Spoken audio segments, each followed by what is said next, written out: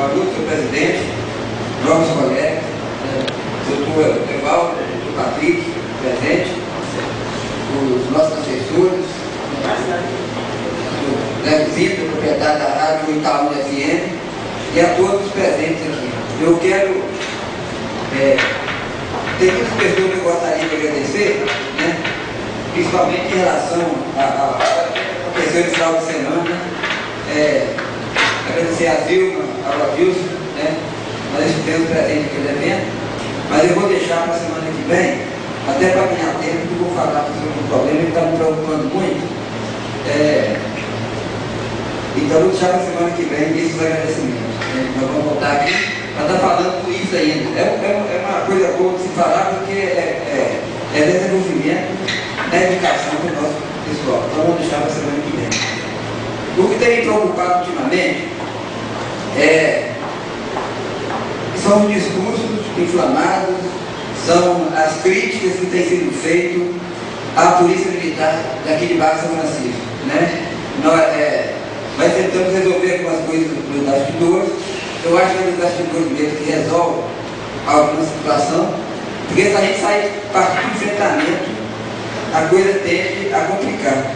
E às vezes o, a, é, a, falta de sabedoria da gente tentar resolver uma situação está levando as pessoas civis e talvez até alguns algumas pessoas da própria corporação é, a se enfrentar eletronicamente. Estou aqui, eu no site barra 14, né, eu disse na sexta-feira, 14 e-mails de pessoas é, criticando né, a polícia, a atuação da polícia, e tem dois aqui, é lógico que as pessoas que fazem isso não colocam o nome, mas a gente imagina que seja de alguns colegas nossos tentando se defender e partir unicamente para o enfrentamento. Isso não é bom, isso é perigoso.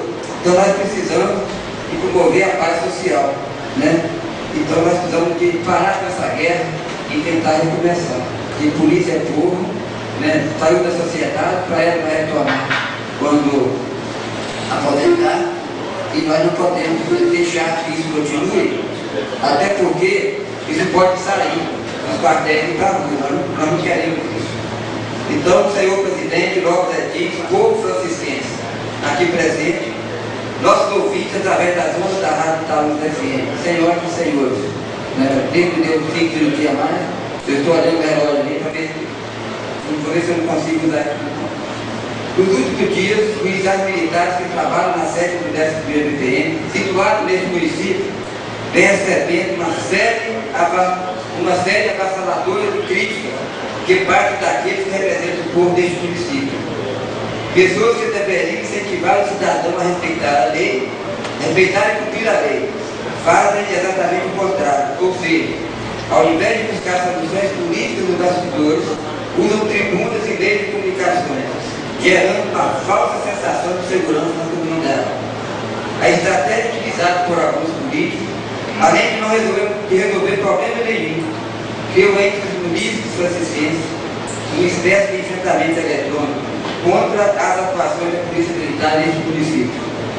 Fiquei muito preocupado com e-mails retirados do site barra sobre a manifestação de pessoas hostilizando os policiais. Fiquei preocupado e faça esse pronunciamento visando acabar com essa guerra eletrônica que se inicia. É notório que muitos ficam satisfeitos em ser corrigidos pelo Estado. O povo brasileiro ainda tem a cultura de só cuidar de si mesmo, por uma imposição estatal. Nota-se que é preciso o Estado, através do Poder Legislativo, é de dar norma jurídica que obriga o cidadão a cuidar de sua própria segurança, como o uso do cinto de segurança, uso capacete, não andar em carrocerias e outras tantas normas embutidas em códigos, leis, decretos, regulamentos. É preciso que entendamos que liberdade não é fazer tudo que se deseja, mas é poder fazer tudo que a lei permite que se faça. Fiquei surpreso em saber que alguns desejam que ilegalidades sejam praticadas por parte do povo, que depende que o Estado, através de seus poderes, destrua legalmente percebe-se intenções fuso da legalidade.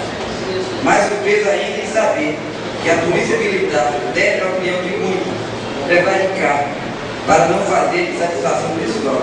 Isso que ela não faz fica hostilizada.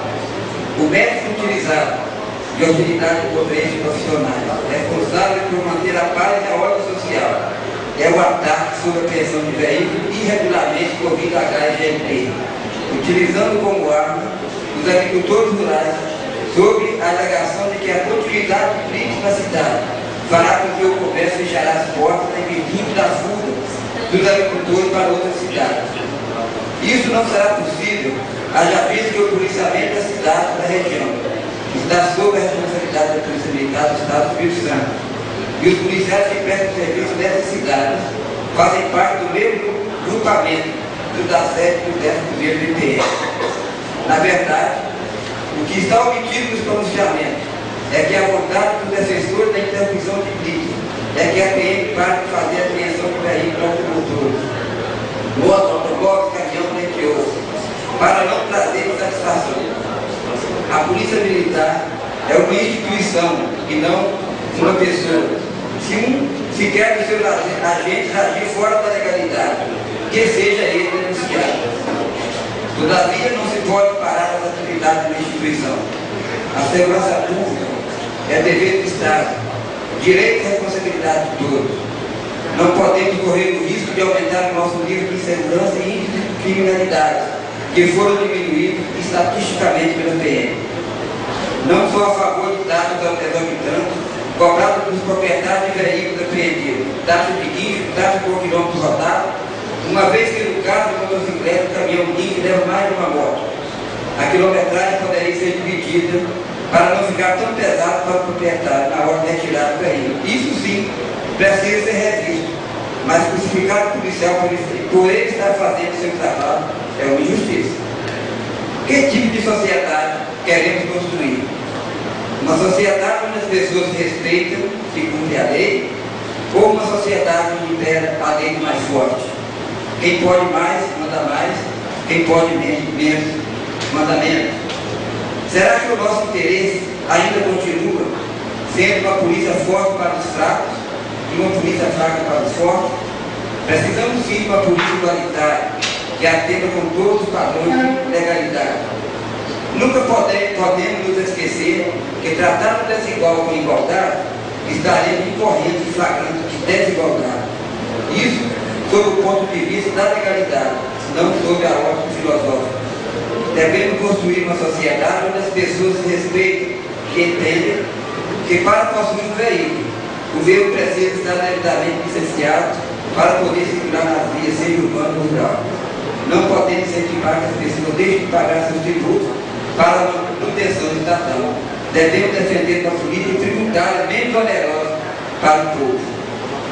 Ao invés de ficar brigando pelo descumprimento das leis, como representantes do povo, devemos incentivá-los a cumprir a lei.